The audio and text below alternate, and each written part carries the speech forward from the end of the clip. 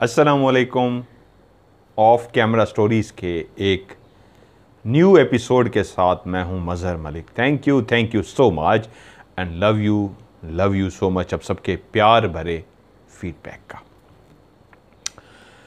बहुत सारी आपको कहानियाँ सुनाई हैं, सच्चे वाक़ात जो लोगों की ज़िंदगियों में उनके साथ पेश आए होते हैं। आज एक ऐसी वाक़ात आपको सुनाने जा रहा हूँ ज़िंदगी में, जिसमें कहानी सुनते हुए आपके दिमाग में भी बहुत सारे सवालात आएँगे। क्या वो फरिश्ते थे या कोई जिन्नात? ऐसे मुख्तलिफ़ किस्म के सवालात। मैंने जुमे को लाइव किया तो उनमें भी उनका मैंने स्पेशल नाम लिया और मैंने कहा, जिसका तह दिल से मैं शुक्रिया अदा करता हूँ, स्पेशली जिनको मैं मोहब्बत के लफ्ज़ों में याद करता हूँ। उस्तादों का दर्जा देता हूँ, जिनसे ज़िंदगी की बहुत सारी चीज़ें सीखी भी हैं, सीख भी रहा हूँ। एक ऐसी शख्सियत जो हर वक्त गरीबों की मदद करने के लिए तैयार हैं, गरीबों का सहारा बनने के लिए तैयार हैं।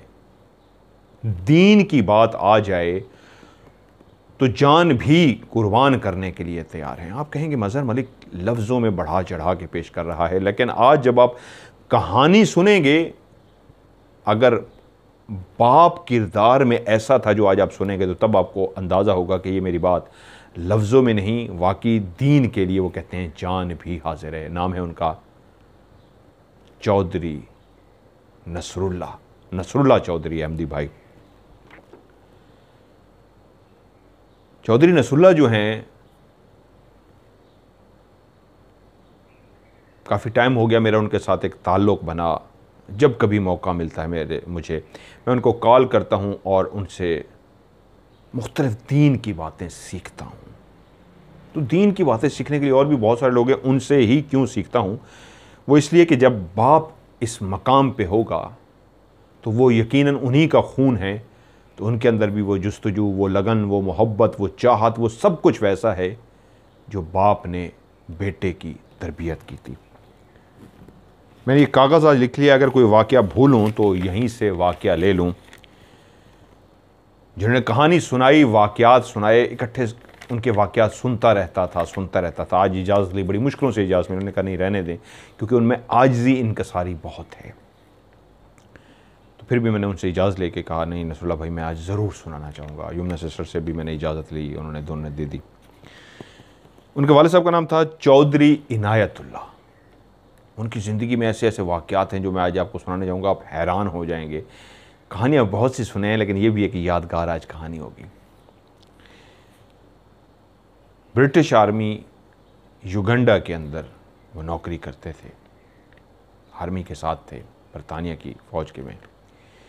तो दूसरी जंग अज़ीम जब ख़त्म हुई तो वो भी उन्हीं फ़ौजियों में शामिल थे, जो हर तरफ़ से जंग जीतने पर मुबारकबाद वसूल कर रहे थे। और उनके बाद उनसे कहा गया, आप आगे जिस तरह की ज़िंदगी गुजारना चाहें, आपके लिए आज़ादी है, रहना चाहें, जाना चाहें, जो बेहतर लगे।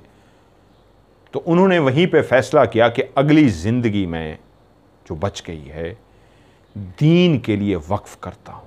आज की कहानी दीन के लिए नहीं है, आज की कहानी है कि सुनिए कैसे कैसे वाक़ात होते हैं जिनात के उनके साथ। जब दीन की तबलीग के लिए भी अब निकलते हैं, कहाँ पे? वाकई जंगलों में वो अफ्रीका में गए थे, तंजानिया में गए। उनसे पूछा गया, आपको भी हिस्से की ज़मीन मिलती है तो आप ज़मीन कहाँ पे लेना चाहेंगे? तो उन्होंने अपनी ख्वाहिश का इजहार किया कि मैं तंजानिया में जाऊँगा। मुझे वहाँ पर ज़मीनें दी जाएँ। तो उनको तंजानिया में ज़मीनें दे दी गई। चौधरी नाल इनायतुल्ला साहब अब फैसला कर चुके थे, जो भी जीना मरना है, अब वो दीन के लिए है। दीन को फैलाने के लिए है। ये एक मुश्किल काम था। घर वालों को छोड़ के, बीवी, बच्चों, सब एक भरा हुआ घर, जहाँ पे इंसान की ख्वाहिश होती है कि अब तो मौका मिला है, नौकरी ख़त्म हुई, पैसे मिल गए, प्लाट मिल गए, चीज़ें मिल गई, अब मैं ज़िंदगी को भरपूर अंदाज में इंजॉय करूँ। तो वहीं पे उन्होंने फ़ैसला किया कि ये बकिया ज़िंदगी सिर्फ़ और सिर्फ़ खुदा के लिए, खुदा के इस्लाम के लिए। घर, बार, बच्चे सब छोड़ा और अफ्रीका के जंगलों में पहुँच गए। उस वक्त, जब इस्लाम का कोई नामो निशान तक ना था, और ये एक ऐसा शख्स जो जीना मरना दीन के लिए लेके वहाँ पे पहुँचा तो बस में सवार थे और आबादी कम थी जिन इलाकों में जा रहे थे तो शाम ढलने जा रही थी तो वहीं पे बस वाले से कहा कि मुझे किसी ऐसी जगह पे उतार दो कि मगरब से पहले पहले मैं कहीं नमाज़ पढ़ना चाहता हूँ तो वो लोग इन चीज़ों से ना आशना थे, उनको क्या पता क्या नमाज़, क्या मगरब। तो उसने फिर से वजाहत पूछी तो इन लफ्ज़ों में समझाने में कामयाब हो गए कि अंधेरा फैलने से पहले किसी आबादी वाली जगह पे मुझे उतार दो। अफ्रीका की वो चलती हुई बस जो एक बेहतरीन लग्जरी बस नहीं, एक छोटे पसमानदा इलाकों की खटारा सी बस, जिसमें और लोग भी शामिल हैं, चौधरी साहब भी शामिल हैं और वो उनको एक ऐसे चाय के ढाबे पे उतारता है कि ले जी, आपकी जगह आ गई, आप यहाँ पे रुक सकते हैं, बस से उतरते हैं। इर्द गिर्द देखते हैं तो वो आबादी नहीं है। एक ढाबा सा बना है, एक झोंपड़ी टाइप बनी है, लकड़ियों की झोंपड़ी बना दी गई है, छोटी सी झोंपड़ी, जिसमें मुश्किल से एक या दो बंदे नीचे सो सकें। उसके बाहर उसने लकड़ियों का एक ढाबा बना रखा है, उस पर वो बैठा, चाय बना रहा है। दुआ सलाम की, चाय वगैरह पी और उससे कहा, इजाज़त हो तो मैं अपनी नमाज़ पढ़ना चाहता हूँ। उसने कहा, मुझे कोई इशू नहीं है, आप अपनी जो भी करना चाहें, नमाज़ वगैरह पढ़ लें। वहीं पे नमाज़ पढ़ी तो अब पता ही नहीं था अगला सफ़र कहाँ है। अफ्रीका का जंगल, कोई जान पहचान नहीं, कोई रिश्तेदार, यार, दोस्त, कोई भी नहीं, एक अनजान शख्स, एक अनजान सी झोंपड़ी लकड़ी की बनी हुई जिसको मट्टी का थोड़ा सा लेप दे दिया गया है, वहीं पे नमाज़ पढ़ के बैठता है। खाने का भी बंदोबस्त नहीं तो उस होटल वाले से पूछता है, आप जा रहे हो? कहता मेरा टाइम हो गया, यहाँ पे इतनी ज़्यादा आबादी नहीं है दूर दूर आबादी है, सो मैंने जाना है। कहा, बुरा ना लगे तो आज रात मैं इस झोंपड़ी में गुजार लूँ। तो उसने यूँ चौंक के देखा, जैसे कोई जिन देख लिया हो, जैसे कोई पागल दीवाना देख लिया हो। कहता यहाँ? कहा हाँ मैं यहाँ सो जाऊँगा। उसने कहा, यहाँ कोई नहीं सो सकता। यहाँ बहुत बड़े बड़े चूहे हैं, मुख्तलिफ़ जानवर हैं। यहाँ सोना बहुत मुश्किल है, तुम नहीं सो सकोगे। ये क्या कह रहे हो? ये जंगल है, ये अफ्रीका है। कहा, कोई बात नहीं, मैं सो जाऊँगा, मुझे इजाज़त दे दो। तो उसने कहा, मेरी तरफ़ से तो सो जाओ, कोई इशू नहीं है, मेरा कौन सा कीमती सामान है? बट मैं तुम्हारी जान की हिफाजत नहीं कर सकता। अगर कुछ तुम्हें हो गया तो तुम खुद जिम्मेदार हो। कहा, कोई बात नहीं उनसे कहा, कोई बोरी होगी नीचे बिछाने के लिए तो उसने दो तीन बोरियाँ दे दी, नीचे एक बोरी बिछाई। वो शख्स जब चला गया तो वो बिल्कुल सही कह रहा था, वहाँ पे तो इतना ज़्यादा चूहे थे कि उनके चूहों के बीच में रात गुजारना बहुत मुश्किल था। पहली रात दीन की सरबुलंदी के लिए, दीन की तबलीग के लिए अफ्रीका का जंगल और रात है, अंधेरा गुप है। लाइट का इंतज़ाम भी नहीं, दिया भी नहीं, लालटेन भी नहीं, मोमबत्ती भी नहीं जला सकें अंधेरा गुप झोंपड़ी सी और वहीं पे बोरी पे बैठा वो शख्स, जो सो तो नहीं सकता था, ज़रूर अपने अपने अल्लाह से हम कलाम हुआ कि मेरे मालिक, जो भी ज़िंदगी बची है, अब तेरी ही इबादत के लिए है, तेरे ही इस दीन को फैलाने के लिए है, आज पहली रात है। मैं आज भी तेरी इबादत कर रहा हूँ, तुझसे दुआ माँगता हूँ। लोगों के दिल हिदायत के लिए टोर दे, लोगों के दिलों में हिदायत डाल मेरे मालिक। मैं चाहता हूँ मैं अकेला मुसलमान ना मरूँ, मैं इस दीन की फैलाने के लिए हर उस शख्स तक दीन पहुंचाऊं ताकि वो आखरत में, जिस तरह इंसान के जज्बा, ख्यालात और दीन से मोहब्बत होती है तो इस तरह की बहुत सारी दुआएँ बैठ के की और रात सारी इबादत में गुजार दी। सुबह सोए तो थे नहीं, इबादत में ही मसरूफ़ थे तो बाहर से शोर की आवाज़ें आना शुरू हो गई। समझ नहीं सकते थे कि किस चीज़ का शोर है। बाहर निकले तो देखा, एक मजमा सा लगा है और वो सारे देख रहे हैं, आगे हो हो के देख रहे हैं, यहाँ तक कि एक दूसरे को धक्के दे दे के देख रहे हैं, जैसे पता नहीं क्या खुदा ना खासा देख लिया है। समझ ना सके, क्या देख रहे हैं ये लोग? पूछा, क्या हुआ? कुछ कुछ अंदाज़ा तो हो रहा था, वो इस अंदाज में देख रहे थे, जैसे आँखों पे यकीन ना कर पा रहे हो। तो एक शख्स बोला, तुम ज़िंदा हो? तो उसने कहा हाँ मैं ज़िंदा हूँ। तो वो पीछे से निकल के आया होटल वाला जो रात को ठहरा के गया था, जिसने जाके अपने बाकी लोगों को बताया था कि एक दीवाना सा वहाँ रुका है उस ख़तरनाक जगह पे, जहाँ पे इतने बड़े बड़े चूहे हैं जो इंसान को खा जाएँ। रात नहीं रह सकता वहाँ पे। और भी जानवर हैं, वो वहाँ पे, पता नहीं उसका क्या हाल होगा। वो इस नीयत से देखने आएँगे कि वो तो चल बसा होगा, अल्लाह को प्यारा हो गया होगा। जब वो आए और देखा, वो बैठा हुआ है, वो बाहर खैर वाफियत में है, चेहरे पे, हाथों पे, पाँव पे कोई खराश भी नहीं है। तो हैरान हुए। रात इबादत की थी और खुदा से दुआ मांगी थी कि रस्ते खोल, मेरे मालिक लोगों के दिलों में हिदायत डाल। वहीं पे देखा लोग जमा ही हो गए हैं तो यूँ ऊपर देखा और कहा, शायद मेरे रब ने अपने आप से हम कलाम हो रहे हैं, अपने रब से हम कलाम हो रहे हैं। शायद मुझे रब ने मौका दिया है कि ये लो, लोग जमा हो गए हैं, करो तबलीग। अब रब इम्तिहान ले रहा है। अल्लाह का नाम लिया और तबलीग शुरू कर दी। तो वहीं पे वो लोग सुनते रहे, एक बूढ़ा शख्स जो बिल्कुल पीछे खड़ा था, हटाता हुआ आगे बढ़ा और कहा, ये सही कह रहा है। मुझे इसकी बातें सच लग रही हैं। तुम लोग हंस रहे हो इस पर तुम इस पर तंज कर रहे हो। इसकी बातें सच हैं, इसको गौर से सुनो। मैं तो बहुत बूढ़ा हो चुका। मेरा करना ना करना कोई मैंने नहीं रखता। हाँ मेरा ये बच्चा ये ज़रूर इसकी बात सुनेगा और ईमान लाएगा और इस पर बैत करेगा। तुम लोग सुनो इसको, गौर से सुनो, उसकी बातों को सुन के उसके दिल पे इतना असर हुआ था, वो सबको मुतवजो कर रहा था कि ये सच कह रहा है। जब औरों ने तो नहीं सुना तो उसने अपना बच्चा पेश कर दिया और उस बच्चे को। चौधरी साहब ने अल्लाह की तरफ़ देखा, शुक्रिया अदा किया। एक पहला इंसान जो इस्लाम कबूल करने जा रहा था, उसने इस्लाम कबूल कर लिया। और वो कहते हैं, आगे वो बच्चा बड़ा, उसने आगे मौलम बना और उसने बड़े इस्लाम की खिदमत की। अब ज़िंदगी चल पड़ी, कैसे इस झोंपड़ी से अंदाज़ा लगा गया, जहाँ रात हो गई, सो गए। उन्हीं दिनों एक पता लगा, बस्ती है पहाड़ों की परली साइड पे, साइकिल का दौर होता था या पैदल चलने का दौर होता था।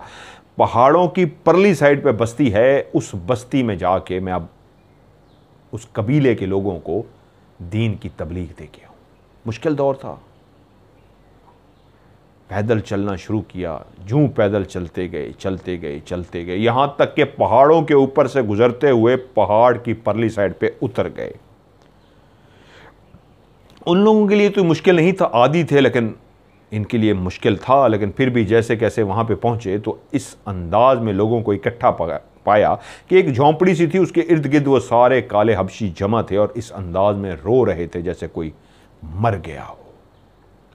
दिल में ख्याल आया, कहीं वही एक नौजवान ही न चल बसा हो जो बूढ़े ने मुझे दिया था कि इसको मुसलमान करो, कहीं वो ही ना चल बसा हो। दिल में एक खदशा सा आया।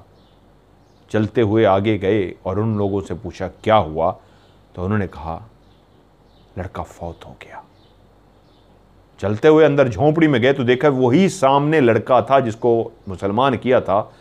वो लेटा था, मुर्दा हालत में मर चुका था। उसके माँ बाप बहन भाई उस पर रो रहे थे। छोटा सा ही तो वो कबीला था जो उस पहाड़ों के बीच में रहता था। वो इर्द गिर्द सब जमा थे। जब कोई मर जाता था तो वो सब जमा हो जाते थे। वो सब जमा थे, घर वाले आहो बका कर रहे थे। चौधरी नायतुल्ला साहब चलते हुए उसके करीब गए और जाके जब उसके माथे पे हाथ रखा तो माथा ठंडा यख नहीं था, मुर्दा जब मर जाता है, रूह निकल जाती है तो जिसम ठंडा यख हो जाता है, बेजान सा जिसम, उसका माथा गर्म था। जब माथे पे हाथ रखा और महसूस हुआ माथा गर्म है तो लगा जो दिल की धड़कन बंद है या जिसम जो है बिल्कुल नॉर्मल है, ऐसी कंडीशन में लगता था जिससे इंसान कोमा में चला जाता है या इस तरह की भी अलामत है इंसान की कि इंसान को डॉक्टर तक कह देते हैं, ये मर चुका है और बाद में वो उठ के बैठता है। कई इस तरह के वाक़ात होते हैं, लेकिन उसका दिमाग का सर का टम्परेचर जो था वो हल्का हल्का बहुत ज़्यादा नहीं मतलब महसूस हो गया उनको कि ये गर्म है। बहुत ज़्यादा गर्म नहीं, लेकिन ये मुर्दा नहीं है। कहा, खामोश हो जाओ। सबको कहा, खामोश हो जाओ। टाइम लगा, खामोश हो गए। कहा, मुझे शहद चाहिए, शहद। भाग के एक बंदा शहद लेके आया। शहद को उंगली से निकाला और उस मुर्दा लड़का, जिसका जिस्म गर्म है, दिल की धड़कन बंद है, वो सबकी नज़रों में मर चुका है उसके मुँह में। शहद डाल दिया और कहा, कमरे को खाली छोड़ दो, हवा आने दो, सब बाहर चले जाओ। मुझे दुआ करनी है अल्लाह से। सब हैरान थे कि ये कैसा शख्स है, मुर्दा के लिए क्या बातें कर रहा है। वो भी हैरान हुए। वो जो चेमे गोयाँ कर रहे थे, वो और बढ़ गई। आहिस्ता आहिस्ता लोग बाहर चले गए। उसके माँ बाप वहीं पे मौजूद रहे, वहीं पे बैठे और अल्लाह से दुआ करनी शुरू कर दी। मेरे मालिक, यही एक ही तो था जिसको मैंने तबलीग की थी, दीन कबूल कर चुका। पहली रोशनी थी जो मैंने जलाई थी, इसको बुझने ना देना। और इसका जिसम बताता है मेरे मालिक कि अभी मरा नहीं है, ज़िंदा है। तो मैं दुआ करता हूँ, मेरे मालिक, मैं तेरे ही दीन की सरबुलंदी के लिए आया हूँ। अगर तू इसको अपने पास बुला चुका है, ये मर चुका है तो तेरी रज़ा, तेरा बंदा तेरे पास। लेकिन अगर ये ज़िंदा है, मरा नहीं तो मेरे मालिक, इसको होश में ले आ। मेरा बाजू बने और तेरे दीन को फैला सके। गिड़गिड़ा के दुआ मांगी और उसके बाद उठने ही लगे अपनी उस जगह से जहाँ पे नमाज़ पढ़ी थी, उस बच्चे ने आँखें खोल दी। और जब उसने आँखें खोली थी तो वो सब देख के परेशान हो गए कि ये क्या हो गया? उनके लिए तो ये कोई मुआजा ही था। लेकिन वो कहते हैं इनायतुल्ला साहब के, मैं जानता हूँ, वो बच्चा अभी गर्म था। ये ऐसी कैफियत में था कि उनकी नज़रों में मर गया था, लेकिन मरा नहीं था। अल्लाह के काम अल्लाह जाने। मैंने भी अल्लाह से ये दुआ मांगी थी कि तेरा है, तू ले चुका है तो तेरा नहीं अगर ले चुका भी ये, जिंदों में है तो फिर इसको उठा दे। और वो उठ गया। लेकिन उसके उठने से फ़ायदा ये हुआ कि वो लोग फौरी तौर पे बहुत सारे लोग ईमान ले आए। और कहते हैं बहुत सारे लोगों ने इजहार कर दिया कि कौन सा दीन है तुम्हारा? किस दीन को फैलाने के लिए आए हो? हमें भी सिखाओ। पढ़ाओ कलमा। और उन लोगों ने वहीं पे दीन को पढ़ा। मैंने आज जुमे को भी बहुत कहा ना, मैं ऐसे लोगों की बात कर रहा हूँ जिन्होंने दीन और दुनिया दोनों को भी चल भी रहे हैं और लेके चले भी हैं। अब बहुत सारे लोग उनमें से मुसलमान हो गए। ये एक सफ़र था जो अब तो अभी तो शुरू हुआ था। वहीं पे अच्छा। अब मिलना मिलाना लोगों से हो गया था, रहना वहीं पे हो गया था, घूमना फिरना वहीं पे हो गया था कि एक दफ़ा मार्केट की तरफ़ जा रहे थे, जहाँ मौका मिलता वहीं पे बैठ के। मुख्तलिफ़ मज़ाहब के जो लोग थे। जंगली कबीला नहीं था वो जो कपड़े नहीं पहनते, जंगल में पहनते, वो नहीं। अफ्रीका की उन आबादियों में ये थे जहाँ पे इंसान अभी बहुत पीछे था, लेकिन तमाम उन चीज़ों को अपना चुका था जो जंगल के नहीं इंसान की रहन सहन की। जिस तरह मैंने कहा चाय का ढाबा अब जंगली चाय का ढाबा कहाँ से लगा के बैठेगा बेचने के लिए चाय? यानी इंसानी असूलों को जो अपनाए हुई कबीले थे उन कबीलों में। तो एक ऐसी जो एक बनी हुई एक ऐसी आ, मार्केट से कह लीजिए छोटी छोटी दुकानें झोंपड़ियाँ ऐसी बनी हुई। तो ये एक ऐसी मार्केट सी थी उस इलाके में थे। बहुत सारे वाक़ात हैं जिनमें से मैं चीदा चीदा आपको वाक़ सुना रहा हूँ कि वो कहते हैं मैं मार्केट से गुज़रा, उनके दरवाजे थे बाकायदा दुकानों के, उन्होंने बनाए हुए थे, मैं गुज़र रहा। तो एक शख्स आया मेरे पास और मुझे कहता है, यहाँ से चले जाओ। मैंने पूछा, क्यों? क्या हुआ? तो उसने कहा, कुछ लोग तुम्हें मारने के लिए तुम्हारे पीछे लगे हुए हैं और तुम्हारा अता पता पूछते फिर रहे हैं। तुम्हारे लिए बेहतर यही अपनी ज़िंदगी बचाओ यहाँ से चले जाओ, नहीं तो आज तुम्हें वो मार देंगे कि ये दीन को फैलाने वाला सर फिरा कहाँ से आया हुआ है? मुस्कराए और कहा, कोई बात नहीं। देख लूँगा। चलते हुए नाई की दुकान में गए, दुआ सलाम की और नाई से कहा, क्या हाल चाल है? गपशप की? तो नाई ने कहा, हजूर, मैंने भी सुन रखा है कि लोग तो आपको मारने के दर पे हैं। आप आते हैं, आप बड़े अच्छी बातें करते हैं। आप चले जाइए। अभी वो ये बातें कर ही रहा था कि उसने बाहर भी झांकता था। कहीं वो आ तो नहीं रहे तो उसने देख लिया कि वो आ रहे हैं। जल्दी जल्दी उसने दुकान का वो जो दरवाज़ा टाइप बनाया हुआ था, बंद कर दिया। तो चौधरी साहब ने कहा, दरवाज़ा क्यों बंद किया? उन्होंने कहा, वो आ गए हैं। जिनका मैं ज़िक्र कर रहा था आपको मारने के लिए आ रहे हैं, वो आ गए हैं बाहर।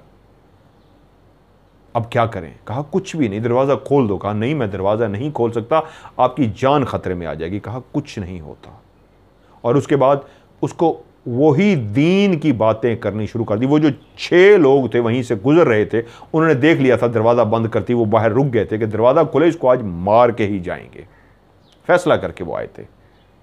ये अंदर दीन की बातें करते रहे और वो इंतज़ार करते रहे, बाहर खड़े होकर ये निकले और हम इसको मारें, लेकिन बातें भी सुन रहे थे। यहाँ तक कि जब बातें ख़त्म हुई तो कहा, दरवाज़ा खोल दो, अगर इन्हीं के हाथों मौत लिखी है तो मुझे कबूल है। दरवाज़ा खोला, उस नाई ने डरते डरते तो वो लोग अंदर दाखिल हुए और कहा, ये जो आपने बातें की हैं, ये ये की हैं, इसका क्या मतलब है? ऐसे सवालों जवाब शुरू हुए, क्योंकि वो इतनी देर मुसलसल बातें जो सुनते रहे थे, इससे पहले उन्होंने बातें नहीं सुनी थी। लोगों से सिर्फ़ इतना सुना था, एक ऐसा शख्स आया है जो दीन से भटका रहा है, हमारा जो दीन है उससे हमें दूर कर रहा है। और जब बातें सुन ली तो वो छः के छः मुसलमान हो गए। अब सिलसिला अभी भी जारी था।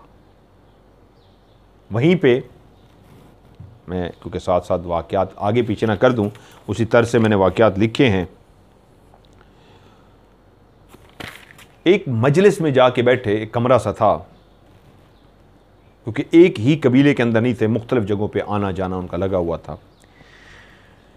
एक मजलिस में जाके बैठे और दीन की तबलीग की, वहीं के ही लोग थे जो बैठे सुन रहे थे तो किसी ने बाहर से आके बताया कि जी, बाहर काफ़ी लोग जमा हो गए हैं।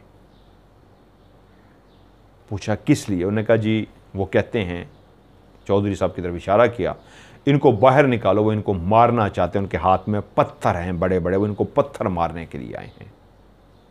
तो वहीं पे उसी वक्त यहाँ कुछ लोग बैठे थे, दो और लोग भी आए, सफ़ेद शलवार कमीज़ें पहने हुए थे, सफ़ेद मतलब ड्रेस में थे, वहाँ का जो ड्रेस था, सफ़ेद से अंदर उनके उसी तरह काले चेहरे थे, वहीं के मकामी लोग सफ़ेद कपड़े पहने, वो भी आके बैठ गए, पूछा, क्या हुआ? बाहर शोर कैसा है?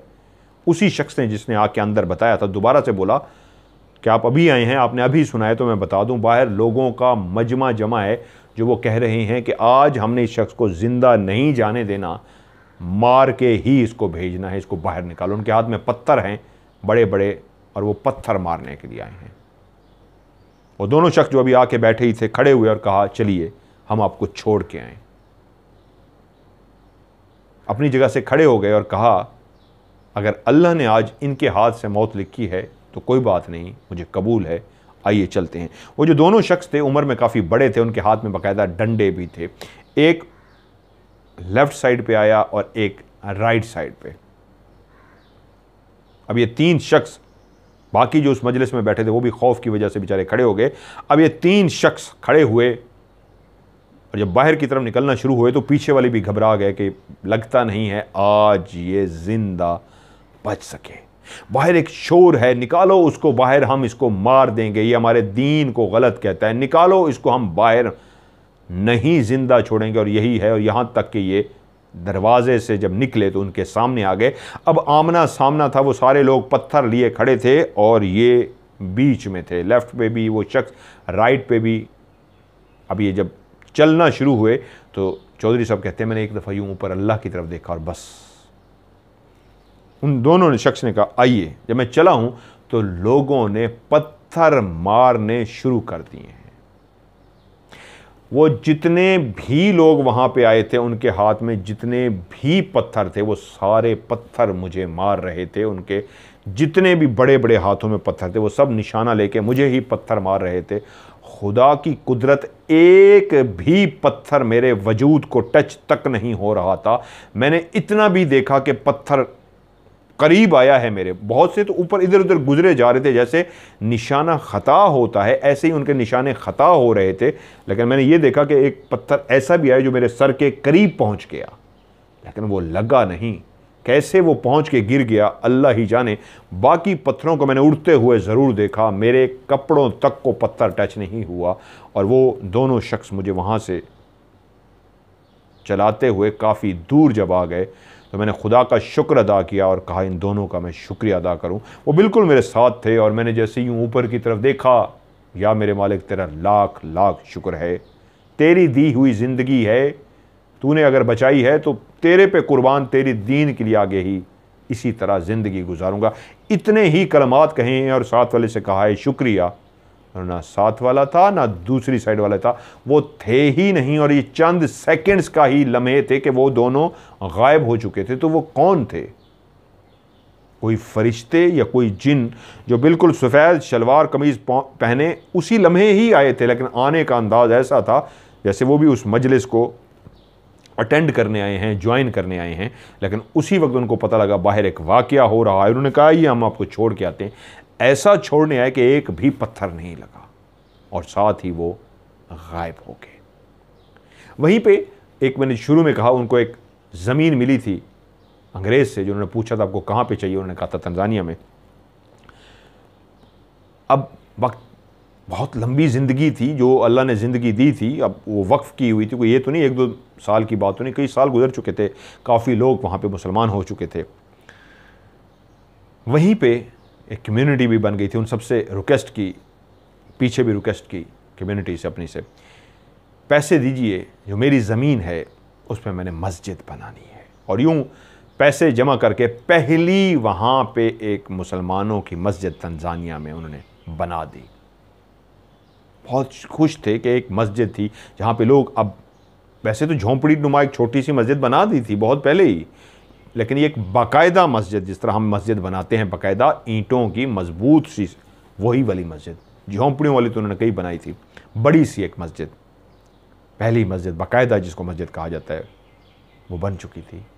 घर में थे कि किसी शख्स ने आके रात को इतला दी, चौधरी साहब, लोग आपकी मस्जिद को आग लगाने के लिए जा रहे हैं, वो सब हाथों में वो शमें, वो जो आग जलाने के लिए वो अफ्रीकियों के पास होती हैं, वो डंडे लेके गए हुए थे जिन पे आग लगी हुई है और वो कहते हुए जा रहे हैं, आज उस मस्जिद को आग लगा के छोड़ेंगे.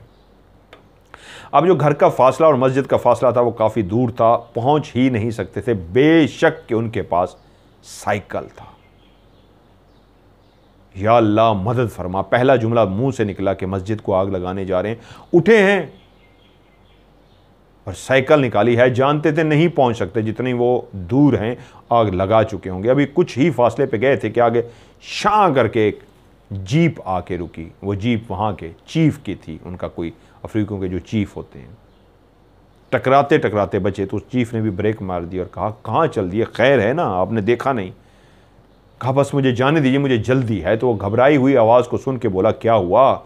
सब खैर है? क्योंकि वो भी इज़्ज़त करता था इसलिए कि एक अच्छा इंसान है आदात अच्छी हैं, किरदार अच्छा है, हुसन इखलाक अच्छा है। वो भी बहुत इज़्ज़त करता था। कहा, मुझे बताओ, क्या हुआ? बहुत ज़्यादा पूछने पे बताया कि ऐसे ऐसे मस्जिद को आग लगाने चले हैं और फासला बहुत दूर है, मैं पहुँच नहीं सकता। उसने कहा, साइकिल उठाइए, मेरी जीप की पिछली साइड पर वो एक जगह बनी है, वहाँ पर रखिए। चलिए, मैं आपको लेके चलता हूँ। साइकिल वहीं पे पीछे रखी, बैठे और शाह करके जीप वहाँ पे पहुँची। तो वो लोग बिल्कुल मस्जिद के करीब ही पहुँचने वाले थे कि पहले ही ब्रेक जगा के लगाई उस जीप ने और वही चीफ ही बाहर निकला उन लोगों से कहा, रुक जाओ। वो सब रुक गए। कहा, क्या चाहते हो? उन लोगों ने कहा, इस मस्जिद को आग लगानी है। तो कहा, मैं तुम्हारा चीफ तुम्हें हुक्म देता हूँ, इस मस्जिद को कोई हाथ भी नहीं लगाएगा, क्योंकि मैं आज इस मस्जिद में वही इबादत करने जा रहा हूँ जो ये करता है। अगर तुम आग लगाना ही चाहते हो तो ठीक है, मैं अंदर इबादत कर रहा हूँ, लगा दो आग। कहा, आइए। चौधरी साहब को अंदर लिया और उसको पढ़नी नहीं आती थी नमाज़, लेकिन देख देख के जैसे इनायतुल्ला साहब ने नमाज़ पढ़ी, उसके लिए स्पेशल उसने भी वहाँ पे नमाज़ पढ़ी और जब बाहर आया तो कोई भी बाहर नहीं था। वो जो आग लगाने आए थे, वो सब के सब जा चुके थे। सिलसिला रुका थोड़ा था। काफ़ी इस तरह के वाक़ात सुनाए हैं, लेकिन क्योंकि हॉरर स्टोरी सुनाता हूँ जिन्नात के वाक़ात भी आप लोगों ने सुनने हैं। तो वो कहते हैं, कई दफ़ा ऐसा हुआ, मैं अपने कमरे में लेटा हुआ था। नींद सी आ रही थी घर वालों से इजहार किया। अंगूर खाने को दिल चाह रहा है। मौसम नहीं था अंगूर को। घर में अंगूर भी नहीं थे, मौसम भी नहीं था। इजहार किया कि मैंने अंगूर खाने हैं और आँख लग गई। आँख खोली तो बिस्तर के साथ बिल्कुल बर्तन में, घर के बर्तन में किसी ने अंगूर ला के फैमिली में से रख दिए थे। बेटी वहाँ से गुजरी तो देखा, बाप अंगूर खा रहा है। आगे बढ़ गई। थोड़ी देर के बाद उसको एहसास हुआ, अंगूर कहाँ से आए? अंगूर का तो मौसम भी नहीं है और ना ही घर में कोई अंगूर लाया है। तो बजाय वाले साहब के पास जाने के घर वालों के पास गए और पूछा, कोई अंगूर लेके आया था आज? उन्होंने कहा, नहीं, अंगूर तो है ही नहीं, अभी तो मौसम नहीं है। तो कहा, फिर भी कोई लेके आया हो, बाहर से कोई चीज़ आ गई हो किसी सबने? कहा, नहीं, अंगूर नहीं है, किसी ने भी, जितने भी घर के फर्द मौजूद थे, सबने कहा, नहीं, अंगूर कोई भी नहीं लाया। और वाले साहब के पास पहुँची तो दोबारा से देखा, अंगूर ख़त्म हो चुके हैं, कपड़ों पर अंगूरों के निशान भी हैं, एक अंगूर भी गिरा पड़ा है। अब वो वो फिस चुका है, लेकिन गिरा पड़ा है। कहा अब्बा हजूर ये अंगूर कहाँ से आए? कहा, मैं नींद से पहले कहा था तुमने आवाज़ दे के कि मुझे अंगूर ला दो, दिल कर रहा है। फिर मैं सो गया, उठा तो तुम शायद मेरे साथ रख गई थी। तो कहा अब्बा हजूर अंगूर तो घर में थे ही नहीं, ना ही कोई लेके आया है और ना ही अंगूरों का मौसम है। तो फिर मुस्कराए और मुस्करा के कहा अल्लाह के काम अल्लाह ही जाने, मैंने तो सिर्फ़ इतना कहा था, अंगूर खाने हैं, अंगूर आ गए। शुक्र, अल्हम्दुलिल्लाह, मेरे मालिक, तेरा लाख लाख शुक्र है। बस खुदा का शुक्र अदा किया, वो ही जानते थे, शायद घर वालों को नहीं, इस राज मालूम हो सका कि वो अंगूर कहाँ से आए थे, वो सिर्फ़ वही जानते थे। अंगूर खा लिए। मैं आगे इसको एक और भी आपको मज़ेदार बात सुनाता हूँ। वहीं पे कहते हैं, एक दफ़ा घर के अंदर उनकी आदत थी वक्त गुजर चुका। काफ़ी टाइम ज़िंदगी का वहाँ पे और भी बहुत सारे वाक़ात हैं जो अफ्रीका में दीन की तबलीग के लिए उन्होंने वहाँ पे सर अंजाम दिए, जो मैं आगे कहीं आपको सुनाऊँगा। ऐसे ऐसे वाक़ात जिसमें अल्लाह ताला की ऐसी ऐसी मदद शामिल हुई कि अनबिलीवेबल मैं कोई वाक़ मिस ना कर गया हूँ। साथ साथ मैं देख भी लेता हूँ क्योंकि बहुत सारे वाक़ात हैं। और, ठीक है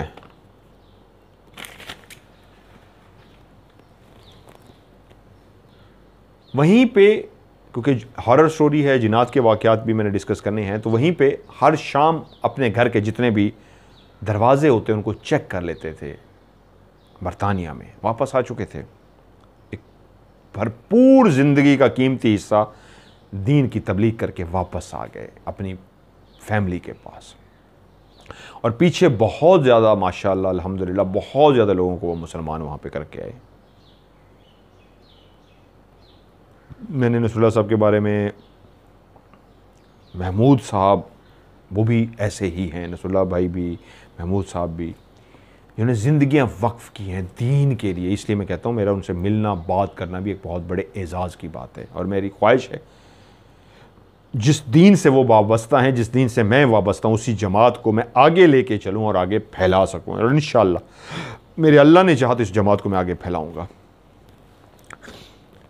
वो कहते हैं कि मैं रात को दरवाजे, खिड़कियाँ सब चेक कर लेता था। उस दिन भी मैं उठा और टाइम हो गया था। मैंने मेन दरवाजे को बंद किया, खिड़कियों को बंद किया, सब चीज़ों को बंद किया। शाम हो चुकी थी, अंधेरा फैल चुका था। अंधेरा एक खुद जिन है, अंधेरा बजाते खुद एक खौफ का नाम है। बहादुर शख्स थे। सब कुछ बंद करके दरमियान में घर का जो हिस्सा था, वहाँ आके बैठ गए। अभी बैठे ही थे, एक काला स्याह इंसान नुमा इंसान था नहीं काला स्याह था। उसका कद, उसकी जिसामत बिल्कुल एक इंसान के बराबर थी। लेकिन वो जिस तरह दरवाजे से चलता हुआ आया तो दरवाजे को तो कुंडी लगी हुई थी। वो अंदर कैसे दाखिल हुआ? वो आया दरवाजे की कहते हैं, मैंने दरवाजे सारे बंद कर लिए और आके बैठा ही हूँ, मेरी निगाह ने देखा, वो बिल्कुल दरवाजे के पास खड़ा है और चलता हुआ बिल्कुल मेरे करीब आ गया, चलता भी ऐसा ऐसा चल रहा था जैसे कोई इंसान चलता है। बिल्कुल इंसान की तरह वो टांगे हिलाता हुआ आया, लेकिन मैं जान चुका था ये कोई इंसान नहीं है। वो खड़ा मुझे घूर रहा था, उसकी आँखें थीं बिल्कुल इंसान की तरह, वो झपक भी रहा था आँखों को, और मुझे खड़ा देखता रहा। उसके देखने से कतअन नहीं मालूम होता था वो प्यार से देख रहा है या गुस्से से देख रहा है, क्योंकि उसके गोल सा, काला सा जो चेहरा था, जैसे एक साया सा होता है, काला स्याह, हबशी सा या साया सा वैसे था, होंठ, नाक, दांत, कान, कुछ भी नज़र नहीं आ रहा था, काला सा गोल चेहरा था, सिर्फ़ आँखें थीं जो नज़र आ रही थी वो मुझे घूरे जा रही थी, वो काफ़ी देर मुझसे घूरता रहा, देखता रहा और मैंने आखिरकार उसको पूछ ही लिया, कौन हो भाई और क्या चाहिए? मेरे दिल की धड़कन तेज़ नहीं थी, हल्की सी, मामूली सी ज़रा तेज़ हुई, लेकिन कुछ ज़्यादा तेज़ नहीं हुई। मैंने कहा, होगी, अल्लाह की मखलूक होगी। तो इसमें मैंने कभी किसी का नुकसान थोड़ा किया है जो मेरा कोई नुकसान करेगी। ये होती है ईमान की ताकत। तो वो जो मुझे मुसलसल खड़ा देख रहा था, उसने मुझे देखा और उसी तरह, जिस तरह मेरे पास चलता हुआ आया था, मुड़ा है, मुड़ने के टोटल चार कदम वो चला है। और चौथा कदम उसने जब रखा है, मैं उसको जाते हुए देख रहा था, उसने जैसे ही कदम रखा है वो गायब हो गया। मेरी आँखों के सामने ही उसको मैंने देखा, वो गायब हो गया। वो कौन था? वो मुझे क्यों देखने आया था? मुझे घूर, घूरता रहा, मुझे देख रहा उसके बाद वो चला गया। यहाँ तक कि वो कहते हैं, इस तरह के वाक़ात जो ज़िंदगी में भूलते नहीं, वो था उनकी सास का वाक़ ये लोग घर के बाहर गए हुए थे। आके घर को खटखटाया, बैल दी। वो बीमार सी थी, बूढ़ी सी थी, बहुत ज़्यादा उनकी उम्र हो चुकी थी कि उनको शायद बेल की आवाज़ ना गई और ज़ोर ज़ोर से दरवाज़ा भी खटखटा दिया, बेल भी खटका दी कि वो आके, उनकी जो सास थी, ज़यीफ़, वो आके दरवाज़ा खोले। तो वो दरवाजे के पास ही बना हुआ जो खिड़की टाइप थी, वो खिड़की में आई हैं। उन्होंने पर्दा हटाया है, अपने घर वालों को खड़े हुए देखा है और पर्दा वापस उसी तरह ठीक कर दिया। जैसे पर्दा इस अंदाज में होता है कि अंदर बाहर कोई देख ना सके, पर्दे आप कर देते हैं खिड़कियों पे। वैसे ही पर्दा उसने हटा के देखा, बाहर कौन है? और पर्दा अपनी जगह पे वापस कर दिया कि अभी दरवाज़ा खोल देंगे, उन्होंने हमें देख लिया है। खड़े खड़े खड़े खड़े छः से सात मिनट हो गए जब उन्होंने पर्दा हटाने के बाद वो कहीं हैं और सात मिनट तक दरवाज़ा नहीं खोला गया तो परेशानी हुई, क्या हुआ? खुदा ना खास्ता ज़यीफ़ हैं, उन्होंने देख भी लिया था, हमने उनको क्लियर देख लिया है, और घर वालों ने सबने देख लिया था कि वो सामने खड़ी थी तो फिर क्यों नहीं दरवाज़ा खोल रही? साथ खड़े उसको कहा, बेटा, खिड़की खोलो, जिस तरीके भी अंदर जाओ, खुदा ना खास्ता गिर गई हैं, कोई हादसा हो गया है, कोई क्या हुआ है कि वो देख के भी गई हैं और दरवाज़ा नहीं खोल रही? तो उसके बाद वो खिड़की के रास्ते, मुश्किलों से खिड़की का लॉक शॉक तोड़ा, जैसे भी किया, खिड़की को, लकड़ी की खिड़की होती थी, वो कहते हटाया जैसे कैसे भी खिड़की के रास्ते अंदर दाखिल हुए मेन दरवाज़ा भी खोल दिया जो अंदर से बंद था। और पूरे घर के अंदर छानबीन की तो उनका कहीं पे नामो निशान भी नहीं, और परेशानी हो गई। कहाँ गई? कहीं गिर तो नहीं गई? आवाज़ें देना शुरू कर दी, उनके नाम से उनको पुकार रहे। उस कमरे में, उस कमरे में, बाथरूम में, छत पे, हर जगह पे देख लिया। वो घर के अंदर कहीं भी नहीं थी। सब खौफ खौफजदा हो गए, क्या हुआ, कहाँ गई? अभी तो देखा था उनको खिड़की से। फ़ोन किया रिश्तेदारों की तरफ़, परेशान होके। तो फ़ोन उठाते ही अगली तरफ़ से आवाज़ आई, खैरियत, क्या हुआ? उनको कहा, उनको नाम लेके कहा। वो घर में अभी थी, लेकिन वो मिल नहीं रही। तो उन्होंने कहा, मिल नहीं रही? क्या मतलब? वो तो मेरे पास हैं। आपके पास? क्या मतलब? उन्होंने कहा, ये तो कुछ दो तीन घंटे हो गए हैं, उसके बाद वो व्हील चेयर पर मेरे पास लेके आई थी खाला साथ में। दो तीन घंटे से मेरे पास है। उन्होंने कहा, नहीं नहीं, अभी कोई आठ, दस मिनट, पंद्रह मिनट पहले यहाँ पे थे। उन्होंने कहा, नहीं भाई, दो तीन घंटे होने वाले हैं, पूरे प्रॉपर टाइम हो गया। वो इधर ही बैठी हुई है, वो वहाँ पे नहीं है। तो तभी वो जो खामोश चौधरी साहब, चौधरी इनायतुल्ला साहब बैठे थे तो घर वाले उनकी तरफ़ मुखातिब हुए। जानते थे, अल्लाह वाले अनेक हैं। कहा तो फिर ये क्या था? कुछ देर खामोश रहे और फिर कहा कि अल्लाह ने इशारा दिया है। पूछा, कैसा इशारा? कहा, वो पर्दा नशीन होने वाली है। अब वो पर्दा कर लेंगी। और ऐसा ही हुआ। वो अल्लाह ने शायद उनको इशारा दिया था, वो क्या झलक थी, वो जो खिड़की की अल्लाह ने दिखाई, जो उन्होंने समझ ली और उनकी कही हुई बात फ़ौर वैसे ही हुआ। वो अल्लाह को प्यारी हो गई। वो अल्लाह की तरफ़ से इशारा था, वो पर्दा कर गई इस दुनिया से और अल्लाह को प्यारी होगी जैसे चौधरी साहब ने कहा था, वैसा ही हुआ।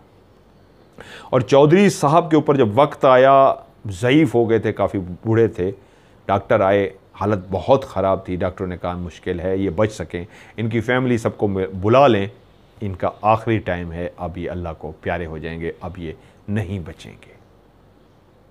2004 की ये बात है, काफ़ी ज़यीफ़ थे। उनकी बड़ी बेटी आ गई, सारे आ गए वो उनके बेटे नसरुल्ला साहब। चौधरी नसरुल्ला चौधरी भाई कहते हैं, मैंने वालिद को देखा, हालत नज़ा। बहुत सारे लोगों को पता होगा, कुछ लोगों को नहीं पता था। हालत नज़ा कहते हैं, वो आखिरी लम्हात आते हैं जब जिस्म से रूह निकाली जाती है तो जिस्म का अंग अंग फड़कना शुरू हो जाता है, आज़ा सारे कांपना शुरू हो जाते हैं, उसको कहते हैं हालत नज़ा। जब इंसान की रूह निकाली जा रही होती है,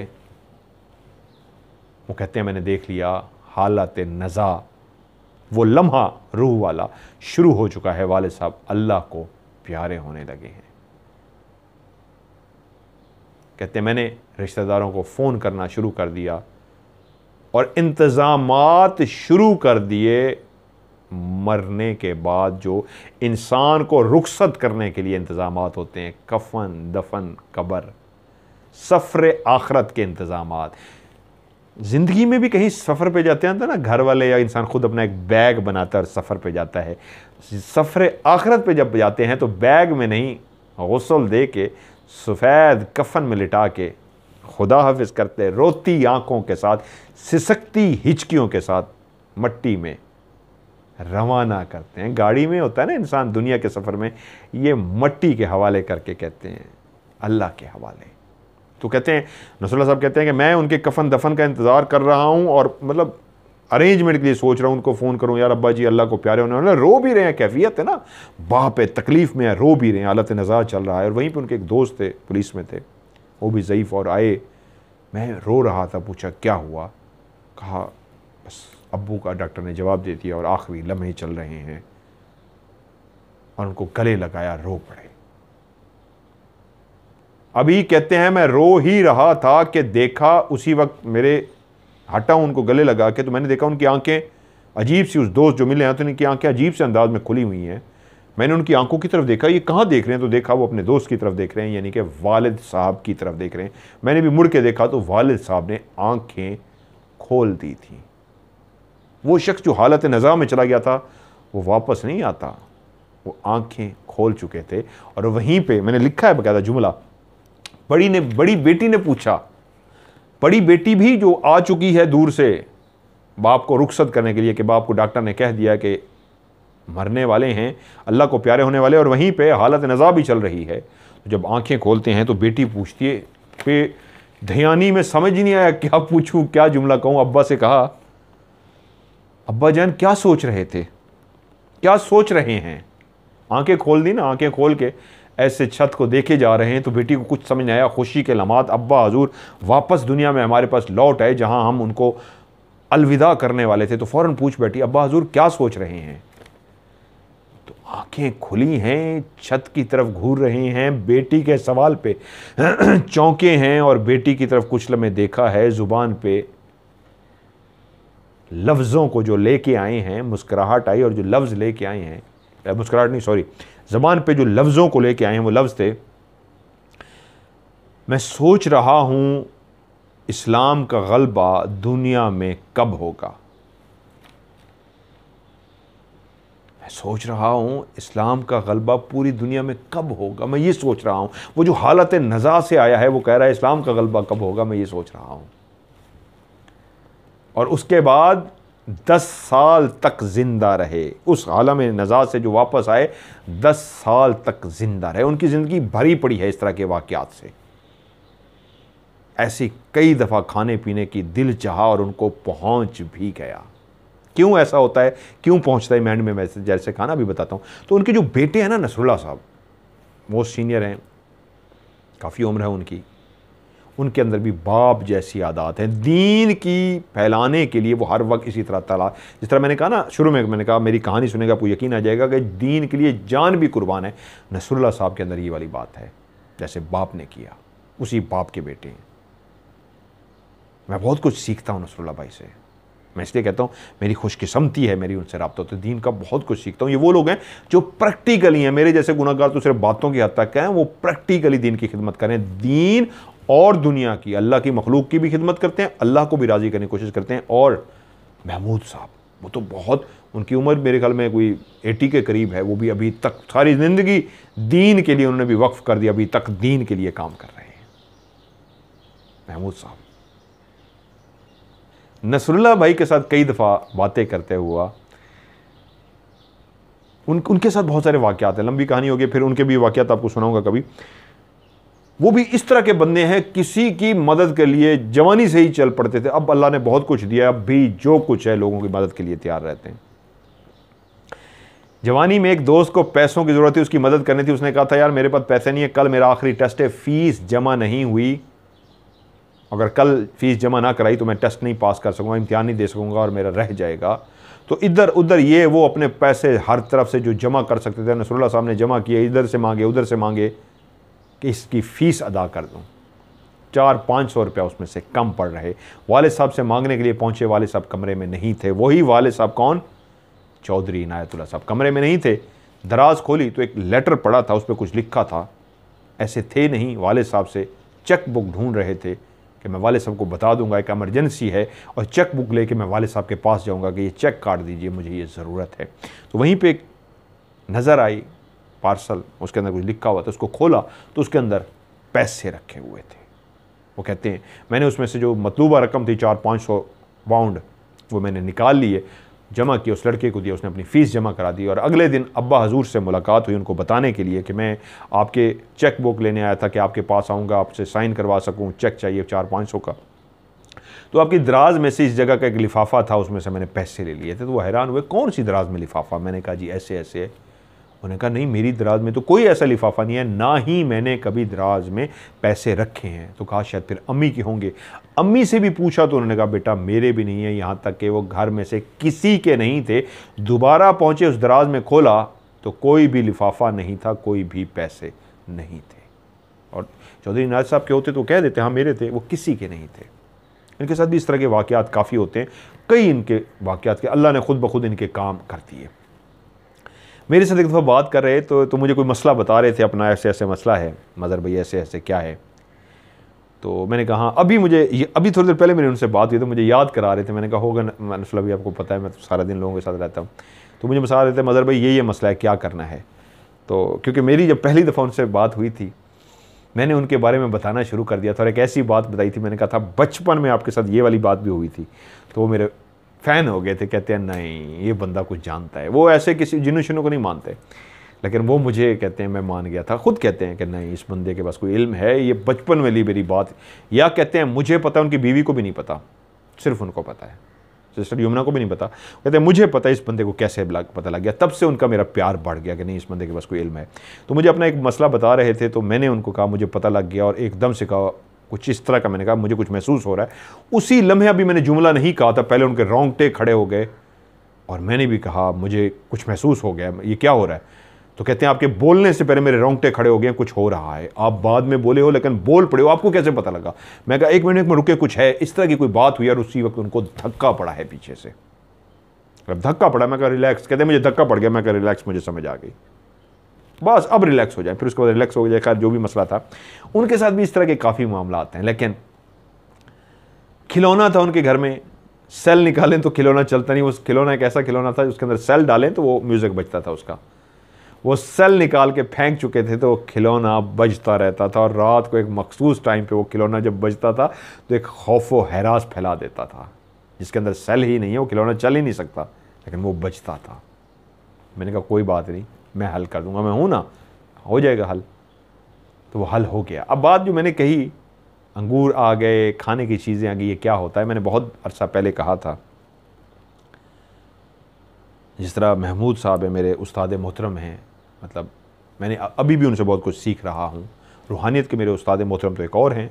वो तो गुमनाम है, उनका मैंने आपको कहा कभी ज़िंदगी में नाम भी नहीं बताऊँगा। महमूद साहब, क्योंकि मेरे उन उस्तादों में से हैं जिनसे मैं अभी तक सीख रहा हूँ। नसरुल्ला साहब भी मेरे उन उस्तादों में से हैं जिनसे मैं सीख रहा हूँ, मैं बच्चे से भी सीखता हूँ, सीखने की बात हो। ये तो इल्म वाले हैं। नसरुल्ला साहब भी, माशाल्लाह, बहुत इल्म वाले, इतने बड़े बाप के बेटे हैं। महमूद साहब तो एजेड हैं, उन तो ज़िंदगी उसी तरह गुजार चुके हैं, जिस तरह चौधरी इनायतुल्ला साहब ने अपनी ज़िंदगी इस्लाम के लिए वक्फ़ की।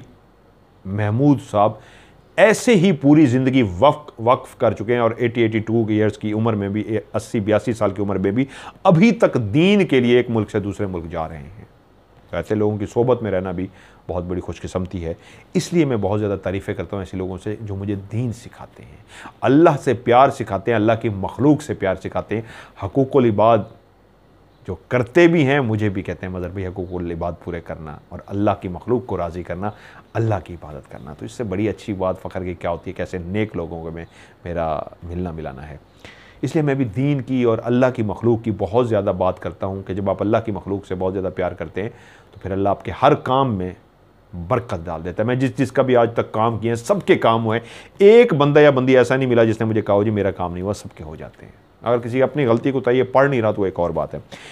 आखिरी बात जो मैंने कही थी आप जब अल्लाह के नेक बंदे बन जाते हैं तो जिन्नात कहते हैं आपसे आके ए उनके अंदर ख्वाहिश पैदा हो जाती है, जिन्नात के अंदर, कि ये अल्लाह का इतना नेक बंदा है, ये काश हमें कोई काम कहे, हम इसका काम कर सके, ताकि हम अल्लाह को कल कह सकें ए अल्लाह, हमने तेरे इस बंदे का काम किया था, फिर हम भी अल्लाह के आगे सुरखरू हो जाएँगे।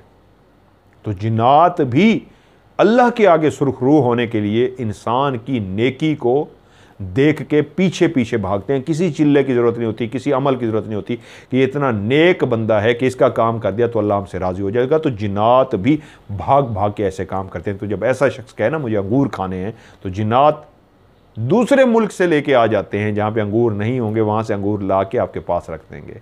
कुछ और चीज़ को दिल कर रहा है तो उठा के आपके करीब रख देंगे। वजह जानते हैं। अल्लाह का नेक बंदा है, हमने भी अल्लाह के आगे सुरखरू होना है, इसलिए अल्लाह ताला खिलाते हैं। मैं भी, मैं ये राज से पर्दा नहीं उठाना चाह रहा। बहुत दफ़ा ऐसा होता है, मैं या मेरी वाइफ दिल करता है, आ जाती है चीज़, और हमने खाई है। शुक्र अल्हम्दुलिल्लाह।